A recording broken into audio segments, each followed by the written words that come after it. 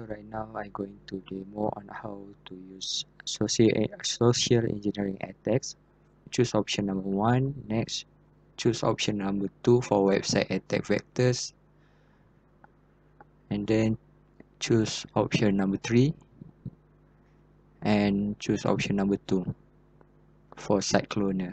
So right now I'm going to copy my machine IP address or my Kali, uh, Kali Linux IP address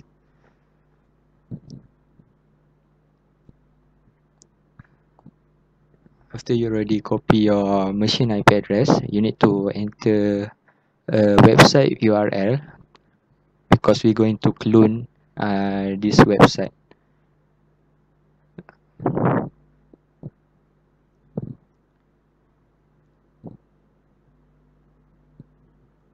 So after you already paste your URL and then you need to copy the IP address and paste it uh, in the web browser.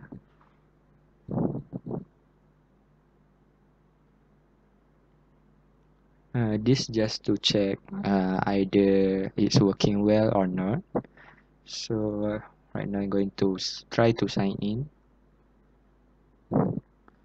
So this uh, clone website uh, when we uh, when our victim sign in it just keep refresh and so uh, our victims not going to detect that this is uh, a hacker or a fake website. So this is the username and password. So right now I'm going to copy and copy the IP address again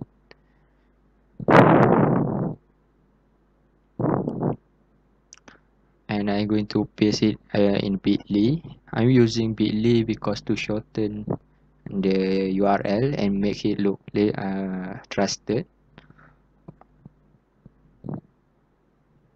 So I'm going to copy the uh, new the shortened URL because I'm going to paste it in the mass, uh, mass mailer attack or more to mail spoofing.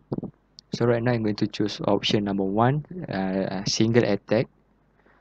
And I'm going to insert uh, my victim's email or any email address that you're going to target.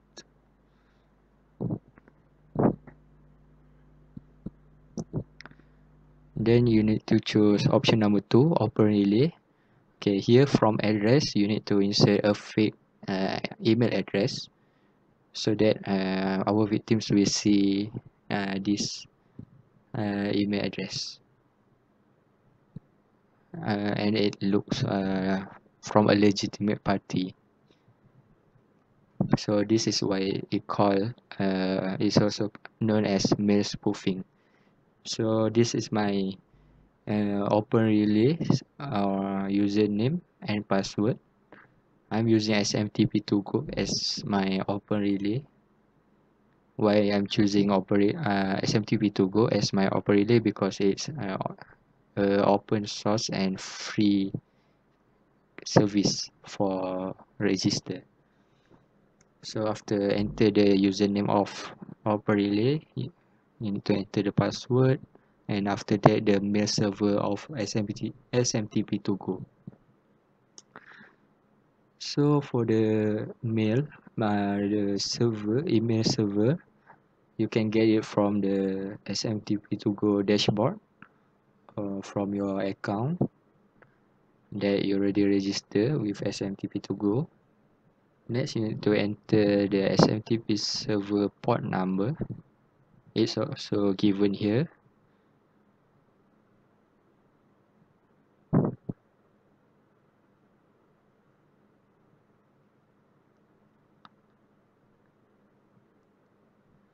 okay for flag this message as a high priority that is for you uh, for us as a, a hacker. So I will put yes high priority and then uh, no attached file or inline file. Okay next right now I'm going to enter the email subject. And lastly you need to enter the body message so what we need to uh, in this body message you can type any words or sentences that just to make it more, more trusted or uh, to make our victims feel that this email is from a legitimate party.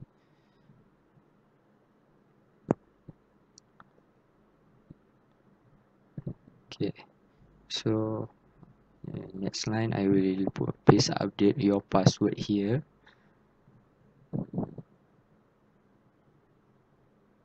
okay in the uh, in next line I'm going to paste the uh, URL that already uh, I shortened. Okay.